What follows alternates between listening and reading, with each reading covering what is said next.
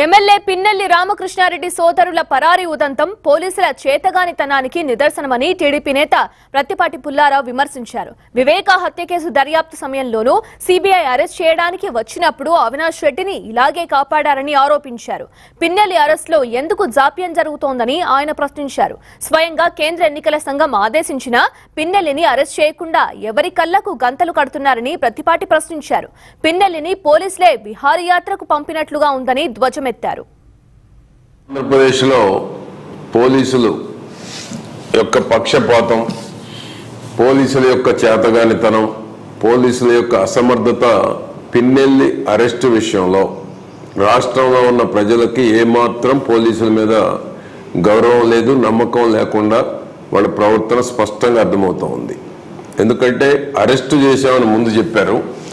తర్వాత అరెస్టు కాలేదు ఇతర రాష్ట్రాలకో ఇతర దేశాలకో పారిపోయాడని మరలా కమ్యూనికేషన్ పాస్ చేస్తున్నారు ఈ రాష్ట్రంలో ఉన్నటువంటి ప్రజానీకానికి. కాబట్టి పిన్నెందుని రాష్ట్రంలో బాధ్యత కలిగినటువంటి అధికారులే విహారయాత్రలకు పంపించినట్టు స్పష్టంగా కనపడతా ఉంది.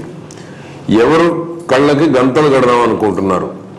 రాష్ట్ర డీజీపీ కానీ రాష్ట్ర ఎన్నికల కమిషన్ బాధ్యత లేదా?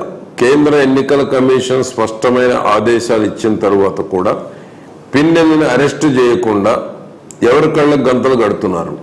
ఎందుకు వెబ్ కెమెరాల్లో జరిగిన రోజే వెబ్ కెమెరాల్లో జరిగినటువంటి వాస్తవాల్ని ప్రజలకు వివరించడంలో ఎందుకు విఫలమయ్యారు?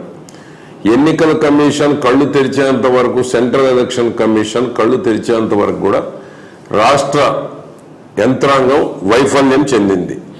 ఎందుకంటే స్పష్టంగా కనపడతా ఉంది. పోలీసులు పక్షపాత వైఖరి అధికారులు పక్షపాత వైఖరి ఐఏఎస్ ఆఫీసర్ కూడా సహకరించినట్టు కనపడతా ఉంది.